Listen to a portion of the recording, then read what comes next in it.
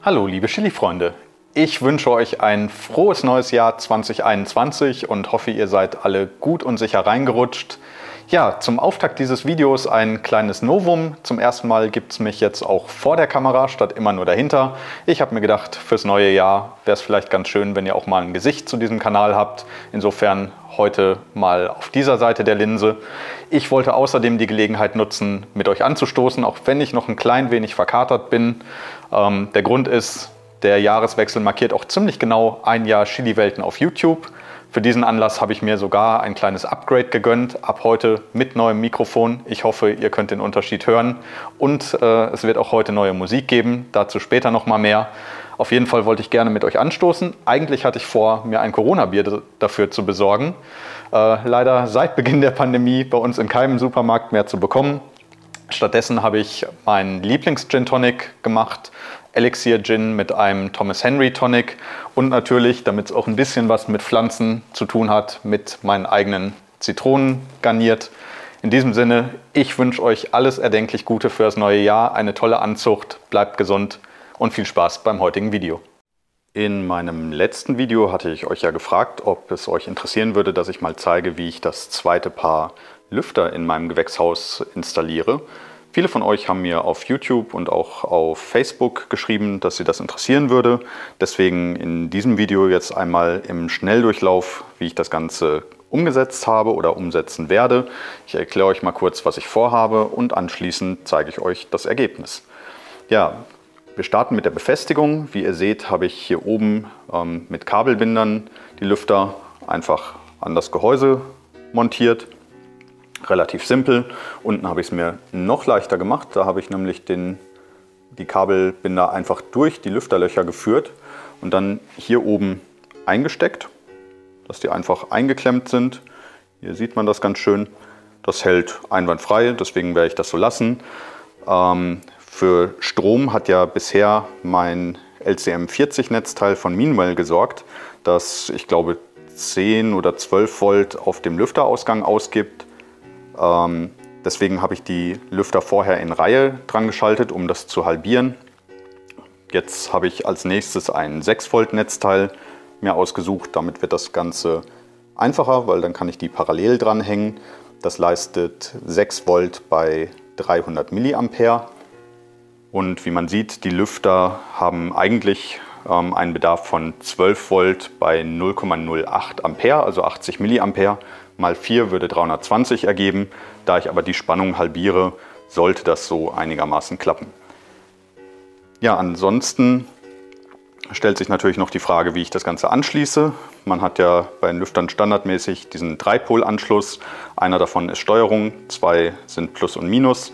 Da werde ich einfach mit dem Klingeldraht in diese Löcher hier gehen. Hier, der Lüfter hat leider ein sehr kurzes Kabel ähm, da ist mein Plan, dass ich das mit solchen, da ich keinen Lötkolben habe, mit solchen Ader-Endhülsen einfach zusammenkrimpe, das Kabel und eine Verlängerung und dann ein bisschen ähm, Isolierband umwickel. Bei 6 Volt wird das kein Problem sein. Ja, ich mache das Ganze hier unten so, dass ich mit dem Netzteil hier in zwei Hebelklemmen gehe, eine für den Plus- und eine für den Minuspol und von dort dann jeweils an die vier Lüfter. Aktuell habe ich hier noch so einen Stecker dran, den schneide ich ab, mache dann eine Aderendhülse dann auf die Kabelenden und dann, wie gesagt, geht das hier in diese Steckerklemmen. Ja, ich werde das Ganze jetzt mal machen und dann zeige ich euch gleich, wie es geworden ist. So, das Ganze ist jetzt soweit fertig verkabelt. Ich habe mich am Ende gegen den Heißkleber entschieden und stattdessen wieder Kabelbinder verwendet. Ich mag die Dinger einfach und habe damit das Ganze jetzt hier runtergeführt. Wie gesagt, habe ich ähm, das Ganze so verbunden, dass ich einfach hier an die Stecker, na, das ist ein Problem für den Fokus, so klappt's, an diese Lüfterstecker einfach die Kabel, die Klingeldrähte ähm, eingesteckt habe. Das hält absolut ausreichend. Das Ganze wird ja sowieso nicht groß bewegt. Ja, von da geht das Ganze dann hier unten entlang. Und hier unter dem Häuschen wo ich eh die ganze Elektrik habe, läuft das zusammen. Ich hatte ein bisschen zu lang die Kabel geschnitten, war aber zu faul, die am Ende nochmal einzukürzen und abzuisolieren. Funktioniert auch so, ist ja nicht im Weg. Auf der anderen Seite habe ich es ganz genauso gemacht. Und man sieht, alles ist verkabelt. Von vorne sieht das auch sehr ordentlich aus. Und ich würde sagen, wir probieren jetzt mal, was passiert, wenn wir den Stecker einstecken.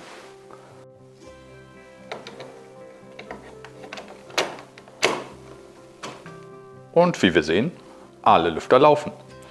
Ja, wunderbar. Dann würde ich sagen, muss das Häuschen jetzt wieder zurück an seinen Platz, alle Pflanzen rein und dann schauen wir uns noch mal kurz den aktuellen Stand der Anzucht an. Im Vergleich zu meinem ersten Update hat sich in der Anzucht bisher noch nicht so viel Neues getan.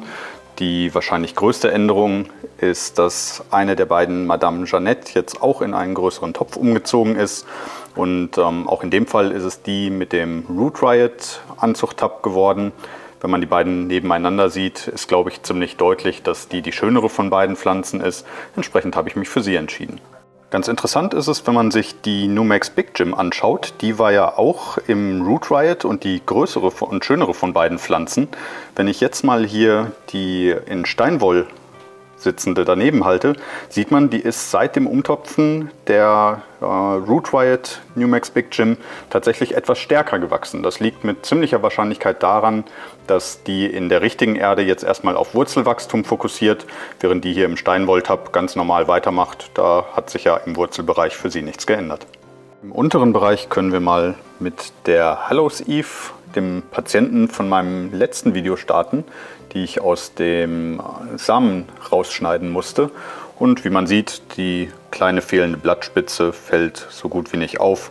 Die macht sich bisher gut und ich denke, die wird sich ganz normal entwickeln. Wer sich ebenfalls sehr schön entwickelt, ist die Fatali hier hinten. Ich denke, die ist eine der nächsten Kandidaten für den Umzug in den größeren Topf. Hat jetzt inzwischen das zweite Blattpaar ausgebildet. Ich denke, ein paar Tage werde ich ihr noch geben und dann mal schauen, wie sich die Wurzeln machen. Dann wird die wahrscheinlich als nächstes umziehen. Ja, ganz interessant ist auch hier vorne die Archi Crystal. Und zwar beide Pflanzen haben das gleiche Problem, dass sich die Blätter nach oben rollen. Ähm, die anderen machen das nicht ansatzweise so stark. Die beiden Archi Crystal, wie man sieht, relativ deutlich. Man sieht hier auch gerade, wie kräftig der Wind mit den Lüftern weht. Ähm, ich werde wahrscheinlich hier unten auch noch Arctic Silent Lüfter äh, mir nachbestellen, weil die etwas besser auf 6 Volt laufen.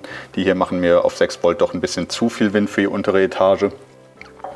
Ja, ansonsten haben wir hier vorne die Trinidad, Scorp Trinidad Scorpion Moruga Chocolate, schwieriger Name. Die lag am Anfang noch hinterher, hat jetzt aufgeholt im Steinwoll-Tab hier sehen wir nochmal die im Root Riot. Das war die Pflanze, die ursprünglich mal ohne Keimblätter aus dem Samen kam. Die hat sie sich beim Schlüpfen abgerissen, hat sich dafür aber ganz gut entwickelt. Dummerweise eins ihrer Blätter, wie man hier sieht, ist auch ein bisschen verkrüppelt. Mal schauen, also bei den beiden wird es wahrscheinlich die hintere werden, die in dem Steinwold habe. Ja, hier apropos ein bisschen verkrüppelt, haben wir auch eine Reaper. Da ist eins der ersten Blätter ein bisschen verkrüppelt. Die anderen kommen jetzt aber schön nach, insofern alles kein Problem. Apropos Reaper, hier haben wir noch eine, da kommen gerade zwei Samen raus. Den hatte ich noch nachgesät, weil ein Freund von mir ähm, eine haben wollte. Und zur Sicherheit habe ich mal drei Samen oder zwei Samen, ich weiß es gar nicht mehr, reingesteckt. Kommen auf jeden Fall mehrere, da werde ich demnächst einen abschneiden müssen. Hier vorne haben wir noch die Devil's Tongue. In dem Fall wird es wahrscheinlich auch die in Steinwolle werden, die sich durchsetzt, auch wenn die im Moment noch etwas kleiner ist. Denn wie man sieht, diese hier hat auf den Blättern einige Nekrosen. Ich vermute, es liegt daran, dass ich die ganze Zeit weiter mit einer leichten Düngerlösung gegossen habe und dass das eventuell auf Dauer ein bisschen zu viel war, weil sich in den Tabs die Düngerkonzentration mit jedem Gießen weiter erhöht hat, weil viel Wasser verdunstet ist und nicht durch die Pflanze gegangen ist.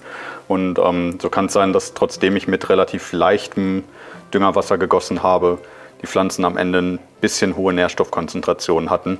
Deswegen im Moment habe ich jetzt nur mit Regenwasser nachgegossen.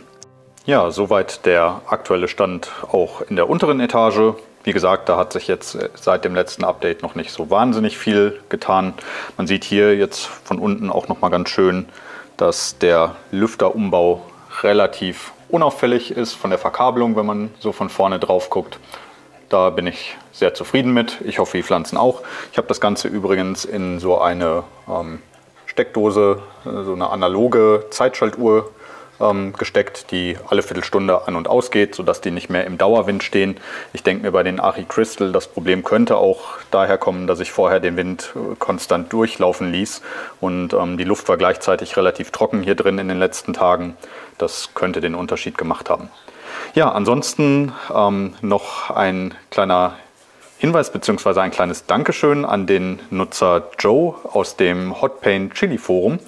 Der hat mich nämlich darauf aufmerksam gemacht, dass YouTube im Creator Studio ähm, kostenlose GEMA-freie Musik anbietet. Ich hoffe, die neue Musik gefällt euch und äh, ist ein bisschen mehr Abwechslung zu den wenigen Liedern, die ich vorher zur Auswahl hatte. Ja, das noch am Rande. Herzlichen Dank für den guten Tipp und in diesem Sinne ganz herzlichen Dank fürs Zuschauen. Warte, warte, warte. Wir sind hier noch nicht fertig. Ich muss dem Marco noch was sagen, sonst hört er das ganze nächste Jahr nicht damit auf. Hör mal, Freundchen, wenn du mir noch einmal sagst, dass du in meinen Videos nicht hören kannst, wie ich aus dem Ruhrpott komme, dann kriegst du nächste Mal ein paar von mir in die Klöten. Weißt du Bescheid. Und allen anderen, ich hoffe, euch hat das Video heute gefallen. Wenn ja, lasst mir gerne ein Like da, abonniert meinen Kanal und dann sehen wir uns beim nächsten Mal. Macht's gut, bis dahin, ciao.